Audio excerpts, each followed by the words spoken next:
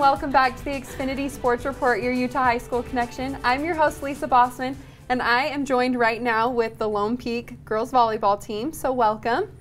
Thanks. Uh, we're talking a little bit more about their season, the 5A champs from this year. So, we're going to start with Maddie. Can you tell me, you guys are all transfers this year, right? From different schools. Yeah. So, tell me where you're from and what's changed this year. So I moved here from Roosevelt, and I moved in with my grandparents' house because I can't live in my old house anymore. So we went to my grandparents' house, and I decided to go to Pleasant Grove to be with my friends. Okay. And uh, halfway through the school year, I decided that I wanted to go to Lone Peak to go to school with my sister. Okay. And so I transferred at the half, and then I just was at Lone Peak from there on. Okay. Yeah. Okay. And what about you? Um, so I'm from Pleasant Grove also. So um, me and my family, we we used to live in Alpine, and then we moved out of the country for a couple of years, and then we moved back, and we found a house in Pleasant Grove, and then we decided that we wanted to move back up to Alpine. So we moved back up to Alpine, and it's just in a different boundary. So I just transferred schools.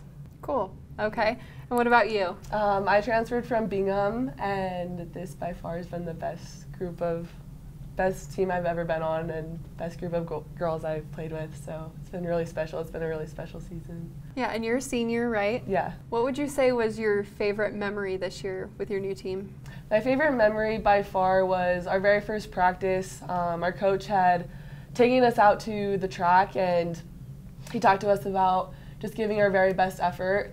Um, so what we had to do was run just for 60 seconds as hard and fast as we could. And he said like when we were done that wherever we finished that we were going to look around and look at all our teammates and wherever we were that we knew that everyone gave our 100% and our very best effort and i think that that set the tone and the standard for um, our work ethic this season and just that we were going to give everything we had to get where we wanted to be Okay. That's great. That's a great memory. What about you, Jacqueline? Do you have any good ones? So at the beginning of the season, our coach came and he wrote this motto, and it was called the Warriors Creed.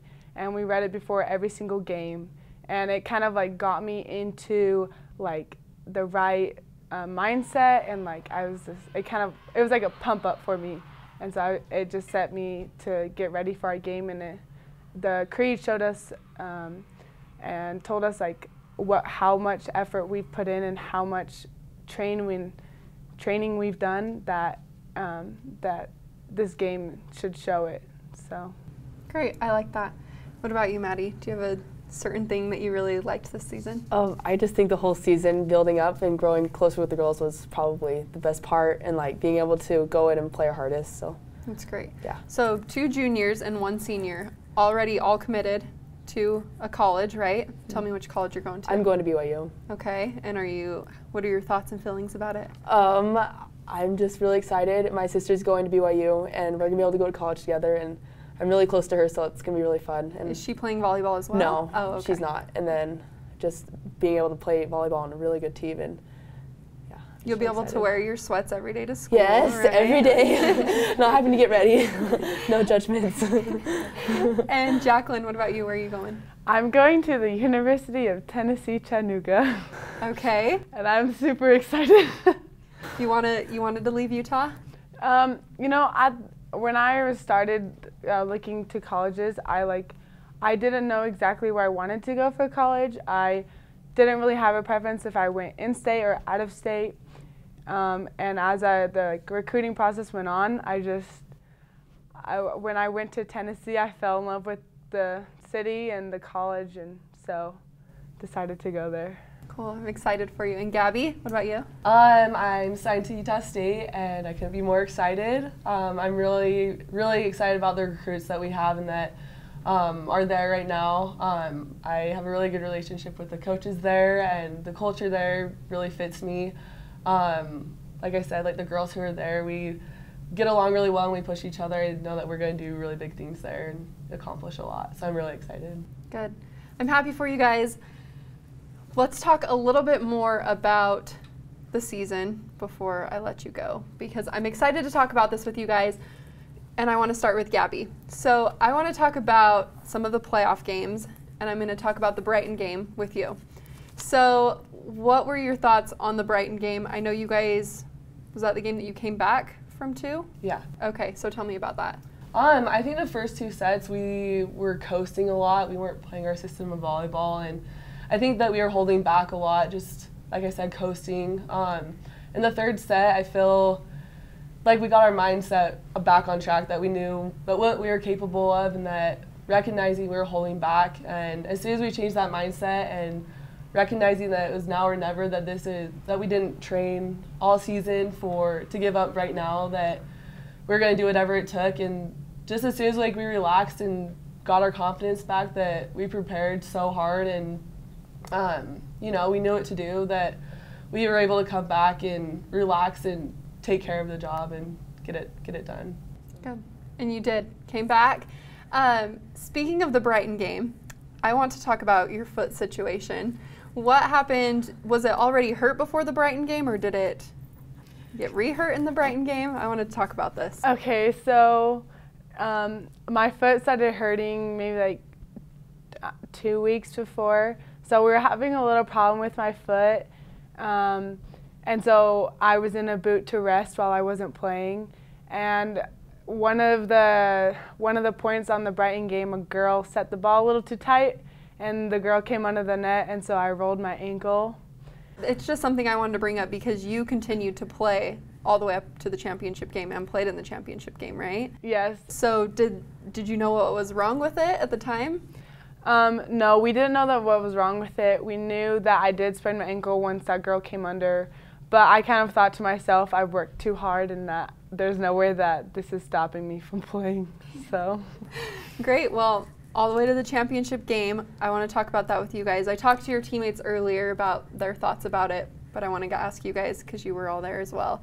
So, on the final play, what was going through your mind? I just want to get this done. I'm done playing. I want to go home. I was so tired. yeah. How many how many games did you guys play that day? Uh, that was our second one, but we had a long time to break because it was like six, a long time, long time, long time. Because it was Okay. like yeah, long time. What was your thoughts going into that game and when the game ended?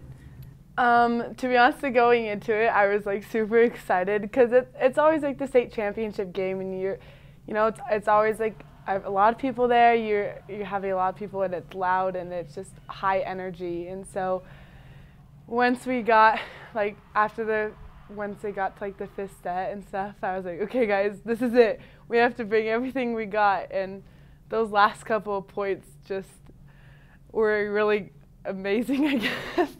We just kind of like knew in, as a team that like there's no way that we're going down without a fight, and we we gave it all we got. And once that last ball hit that ground on the last point, we all collapsed. And for you, as your senior year, you transferred. You obviously transferred to the right school, right? um, h- how did it feel to win the state championship for your last year? It was surreal. Like you can't end a high school season better than that. With and I think the coolest part about it was that even though like it, it was a battle through and through, like back and forth, back and forth, and within a couple points every set.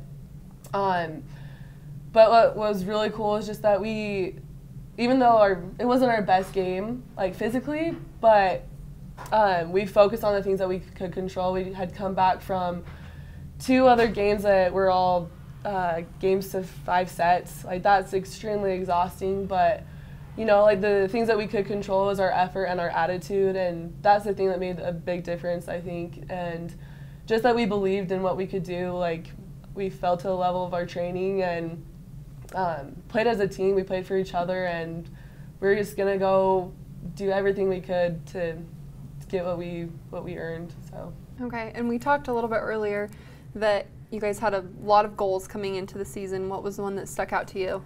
Um, a goal that we always reinforced was that we were going to fall to the level of our training, that we were going to make practices harder than any game situation, and that um, we're just going to work so hard and just fight like as hard as we could. Um, and our goal is to make our average better than um, any other team's best. So when the championship game when we were all exhausted that we had trained so hard and that even though it wasn't our best game, that our average was still enough to get the, the job done.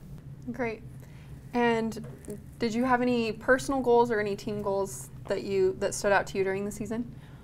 Um, what I really thought of is like going in with like 100% effort and 100% focus to every single practice is we had a piece of paper that we had to fill out every practice and we have personal goals and I always wrote that down 100% effort and 100% focus along with uh, another goal that I wanted to focus on but I feel like with 100 with the focus and the effort that um, it's really important to have when you're playing. Okay. What was there anything that you would write down on your papers week to week? Uh, no. No. okay, we'll skip that then. She's like, I didn't write down my papers. I don't. I just change different every day. Well, thank you guys so much for coming on the show and talking to us about the season and juniors. We'll look for you guys next year, and we wish you the best of luck in college. We're going to head to break, but when we come back, we have the 5A championship game, Bingham and Lone Peak, up next on XSR.